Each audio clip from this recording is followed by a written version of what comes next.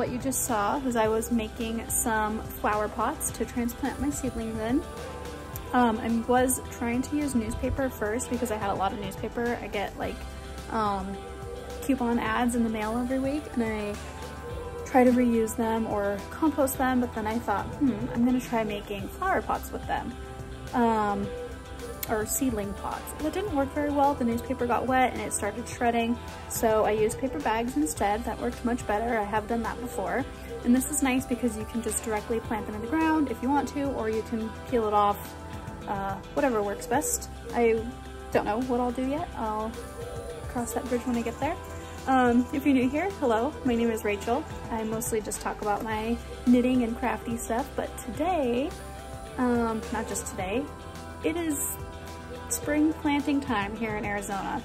Actually, I think in Phoenix, a lot of people are getting ready for their summer gardening, but I'm still um, doing my spring planting.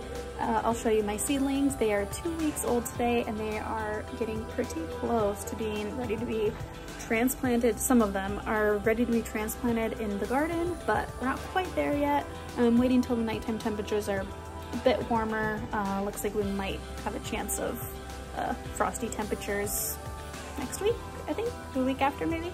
Um, but anyways, today what I'm doing is just getting my seedlings out of the little six cell uh, pots and into something bigger.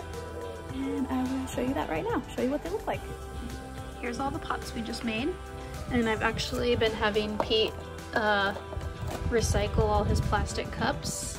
Clearly he goes to McDonald's a lot, but he drinks like coffee and sodas and I don't, so he gets these plastic cups and I asked him to save them for me and we put some holes in the bottom and I've been using these as pots as well. So these are all the seedlings that I'm going to be transplanting. Um, I don't know what's going on with the tomatoes. Some of them are looking a little rough, but most things are looking really good. They do need to get into something bigger though because we've got some very, very long roots See that? That's a cucumber. Um, it's a bit chilly out here for them, so I'm gonna get them in pots and then get them back inside under the light and I'll show you the other ones. So these are all the same age. They're two weeks old today. And then these guys, this is a yellow crookneck squash, and this is a um, something Dark Star zucchini or something. Um, these are also two weeks old. So I started them indoors in the same, they were in the same pots as those other guys that I just showed, but um, they grew so fast. So I transplanted them last weekend, I believe. And then these are a little bit older. These I started in some Grodan blocks. Um, but yeah, they're doing really good. You can see they've got good roots and they're totally gonna be ready to go in the garden soon, but this is the garden bed they're gonna go into and it is obviously not ready. I have to go get soil, but that'll happen in, uh, I think, like two more weeks. I've got a work trip coming up. I think I'm gonna do it when I get back. We'll see though. I will, um, yeah, get these planted out then. So they're still staying inside at night, but they're out, um, they're outside mostly during the day, but it is a little chilly today. So this is the soil that I used to start all my seedlings in.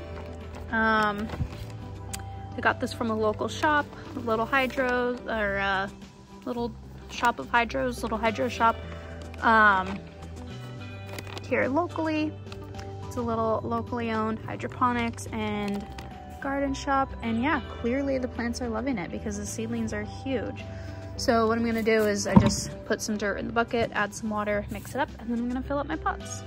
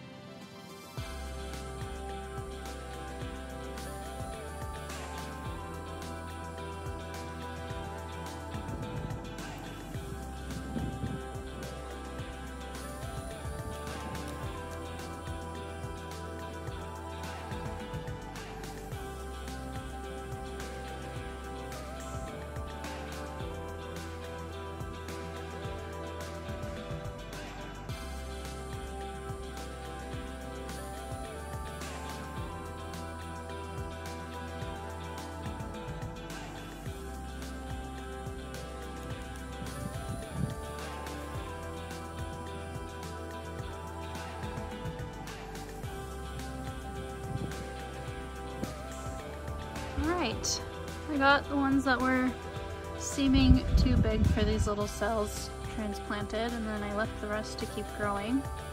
These ones, I think those pots are way too big, but we'll see what happens. So this is my first time starting seeds indoors. So I definitely did not, do not know what I'm doing. Um, just kind of winging it here. And it's really, the reason they're like so small, but I'm already um, having them outdoors most of the day is just to get like actual sunlight. Um, it's pretty much pretty close to the same temperature outside as it is inside my house today. It's a little bit colder outside, um, which maybe I should have left them in. I don't know, but I just feel like the air and the sun is better for them than, um, you know, a heated house and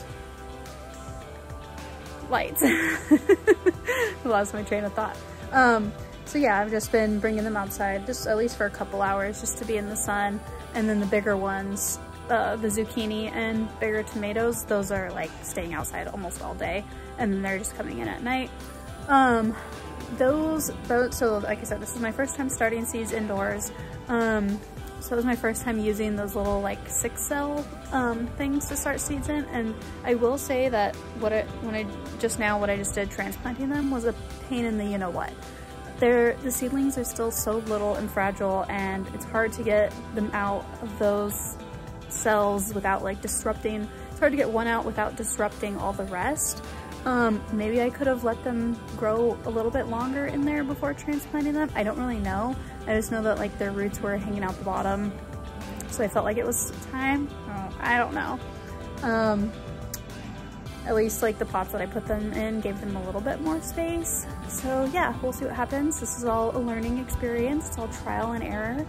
Those of you who are really experienced at seed starting, especially indoors, are probably watching this and going like, um, but yeah, that's what I learned was by trying and doing it and it's fun and I enjoy it. So yeah, I, um, maybe these will do really well or maybe they will die and I will realize that I shouldn't have transplanted them this young, but um, I don't know, we'll see. I will say that I think it would have been easier to just do some pots that are like like a couple inches. I don't know, what are, what are those pots, like three inches that I'm thinking of, those cheap little square pots. Um, start the seeds directly in there and then the plant can just live in there until it's time to go out into the garden. Then that way I'm not having to transplant them to a bigger pot and then transplant them again into the garden when they're ready, you know? It just seems like too much extra work. So we'll see. We'll see how I feel about this and we'll see how they do and maybe I'll do a little update in a few days so we can see who lived. Anyways, thanks for watching and I hope you have a good rest of your day. Bye.